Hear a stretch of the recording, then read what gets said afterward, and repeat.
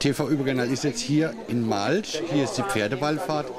Den Hauptverantwortlichen haben wir vor uns stehen. Stellen Sie sich mal bitte vor. Ja, ich bin der Herr Hill vom Verkehrs- und Heimatverein. Ich bin also schon über 40 Jahre lang hier mit beim Satteltrunk dabei. Dieses Jahr ist es ein kleines bisschen dünn besät noch, gerade mit den Kutschen. Aber Pferde sind also einigermaßen da.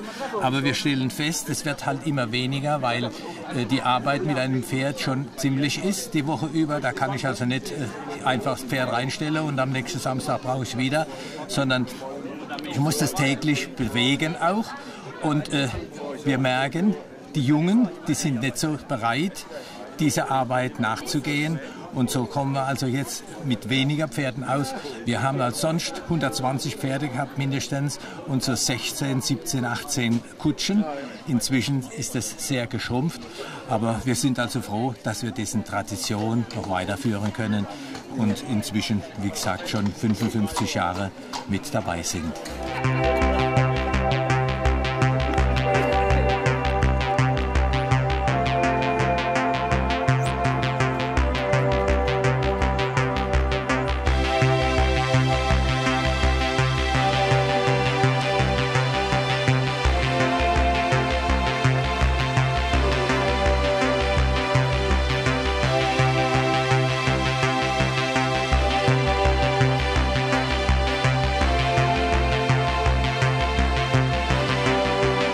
Aufruf an alle Pferdeliebhaber und Reiter, sich einfach bei Ihnen zu melden für das nächste Event. Muss ja nicht gerade eine Wallfahrt sein, oder?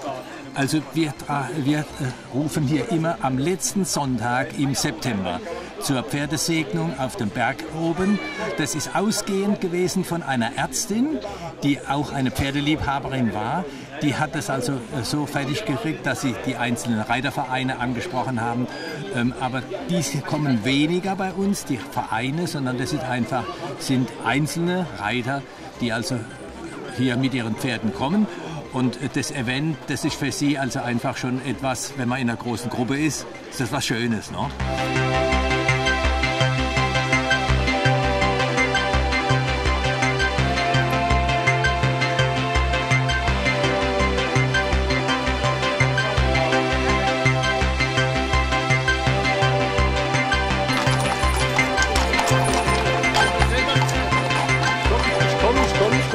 Ja, jetzt gibt es hier auch noch was ganz Leckeres zu trinken. Ist das ein Warmmacher für, zum Hochreiten? Äh, das, je nachdem, wie der Einzelne das sieht.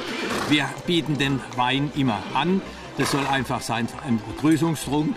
Man, denn manche sind also schon sehr früh morgens unterwegs und bis sie bei uns ankommen, da tut es schon ganz gut, wenn sie etwas zu trinken bekommen.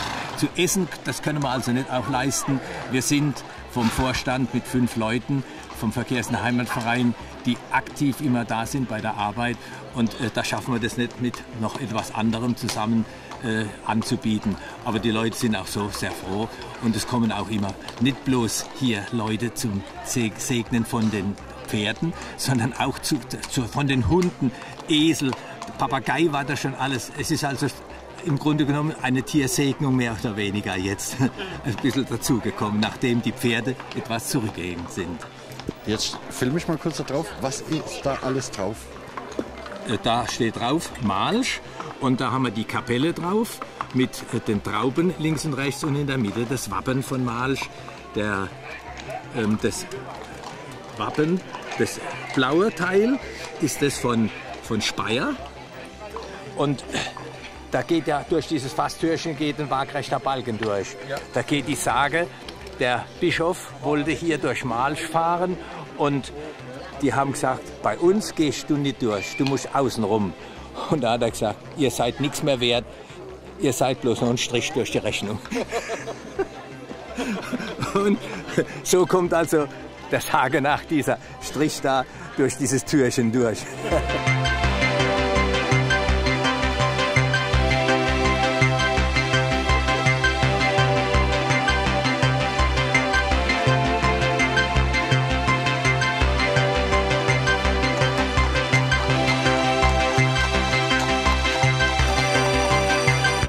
alles Gute. Ne? Das freut uns, dass, dass wir da heute etwas so in die Öffentlichkeit gehen. Bis jetzt haben wir das immer sehr dezent und ruhig gemacht und nicht nach außen hin. Aber das freut uns, wenn das Interesse findet nach außen hin.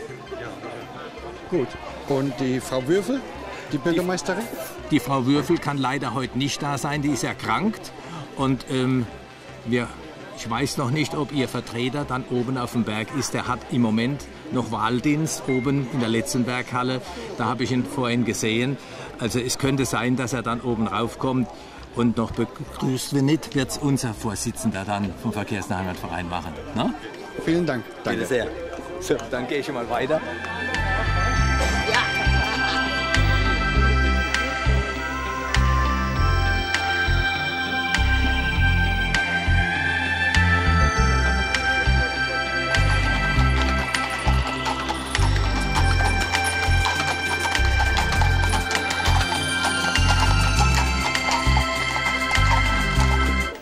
Kommandant der Feuerwehr Malsch, Herr Wirth, ist jetzt vor uns.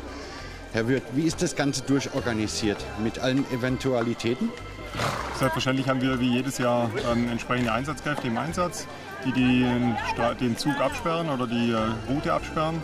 Und ähm, natürlich ist auch der HVO in Malsch vor Ort. Ähm, und gegebenenfalls können wir natürlich auch Kräfte nachalarmieren, soll es zu irgendwelchen Unfällen kommen. Aber bisher, toi toi toi, ging der Zug immer sehr, sehr gut aus.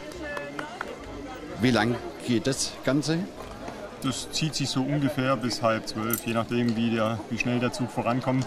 Ähm, in der Regel äh, ist der eigentliche Reiterzug äh, bis rauf auf den Letzenberg in circa einer halben Stunde äh, vorbei. Und dann findet oben die Messe und die Segnung statt auf dem Letzenberg, bevor sich das dann alles in den Tierpark, in die Tierpark-Ranch in Malsch verlagert.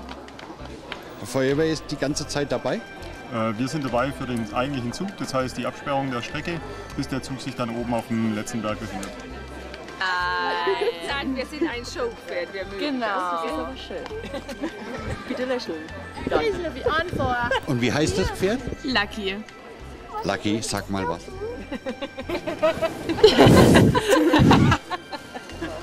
Danke für das Interview. Sehr gerne.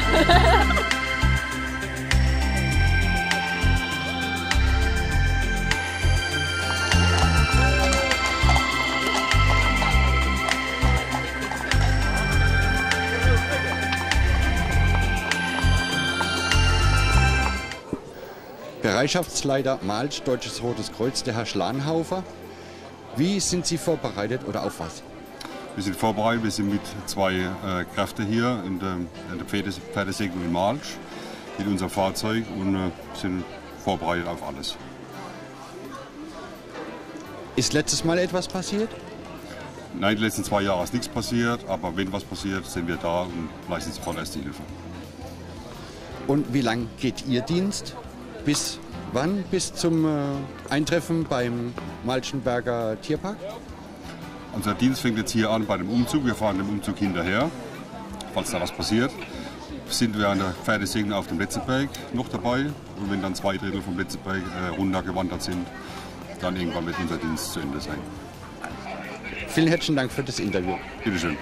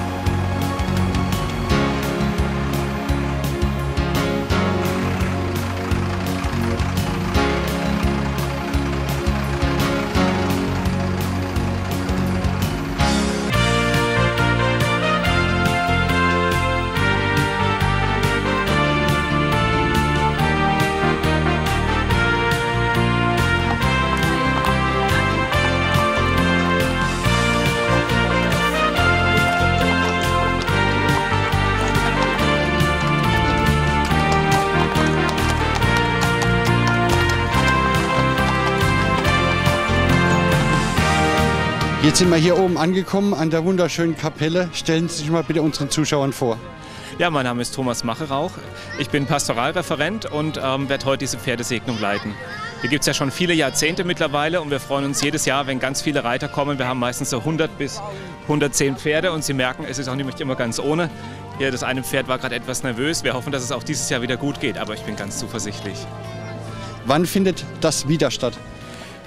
Im Jahr einmal, am letzten Sonntag im September, ganz traditionell. Findet noch etwas statt in Malsch? Ja, im Marsch findet viel statt. Also in der Gemeinde natürlich, äh, Weinstadt Marsch, da haben wir ganz viele Angebote. Hier oben auf dem Letzenberg die Frühjahrswallfahrt, Ende Mai, äh, Anfang Mai, Entschuldigung. Dann im September die, die Herbstwallfahrt und eben, wie gesagt, am letzten Sonntag im September die Pferdesegnung hier. Für die Pferdefans gibt es noch was hier an Weihnachten oder zwischendrin? Also im Tierpark, die Tierpark Rentsch, da immer beliebte Anlaufstelle, da kann man natürlich jederzeit hinkommen, auch mit seinen Tieren. Ähm, aber ansonsten speziell für die Pferde und ähm, auch andere Tiere. Wir haben ja auch Esel manchmal dabei und ähm, ähm Schildkröten hatten wir schon mal, Hamster, Meerschweinchen. Speziell die, die äh, Segensfeier einmal im Jahr. Vielen Dank für das Interview. Viel Spaß noch. Ja, aber gern. Vielen Dank.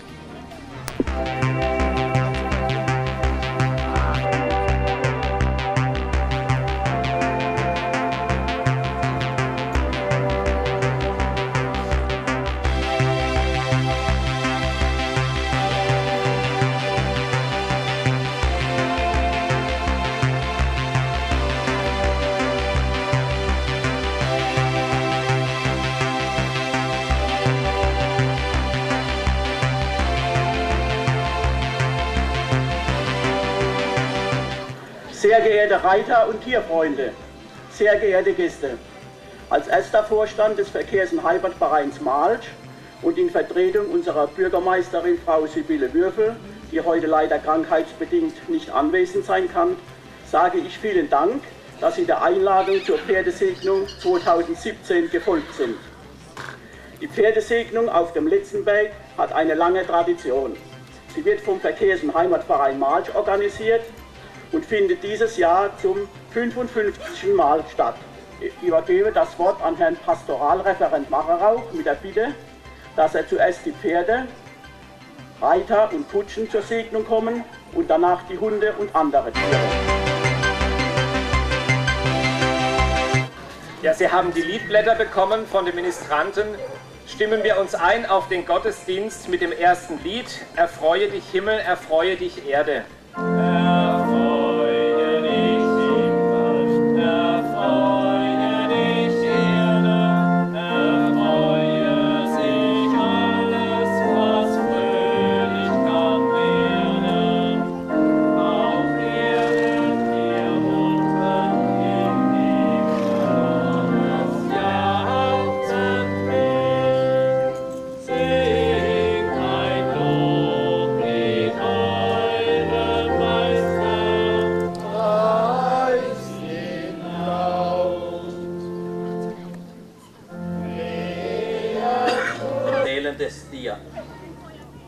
Wüsste nicht bei alledem, dass die Hand des Herrn dies gemacht hat? In seiner Hand ruht die Seele allen Lebens und jeden Menschenleibes Geist.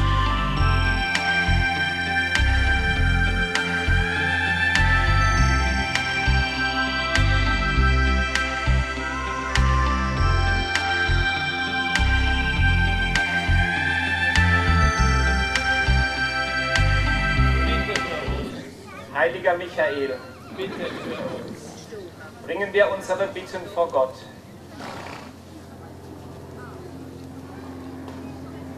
Guter Gott, hilf uns, die Tiere als Mitgeschöpfe zu achten. Wir bitten dich, erhöre uns. Bewahre die Tiere vor Krankheit, Seuchen und Gefahren. Wir bitten dich, erhöre uns. Schenke uns Freude an den Tieren, die du geschaffen hast. Lass uns von ihnen lernen über das Leben, über uns und über dich. Wir bitten dich, erhöre uns. Brot gib uns heute und vergib uns unsere Schuld, wie auch wir vergeben unseren Schuldigern.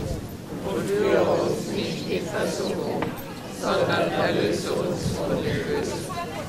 Dein ist das Kraft und die Herrlichkeit in Ewigkeit. Amen. Segne euch Gott der Vater, der Sohn, der Heilige Geist. Gott der Vater, der Sohn und der Heilige Geist. Amen. Er segne euch, Gott der Vater, der Sohn und der Heilige Geist. Alles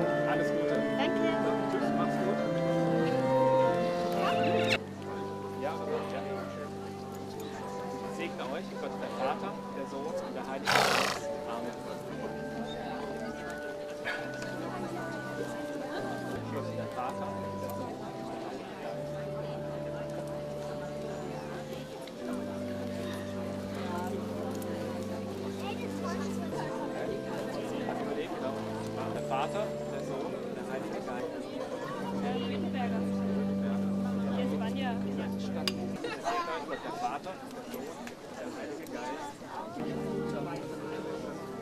Euch Gott, der Vater, der Sohn und der Heilige Geist. Sie können alle zusammen. Nein, Nicht direkt, wir kommen aus Wiesn. Gott, der Vater,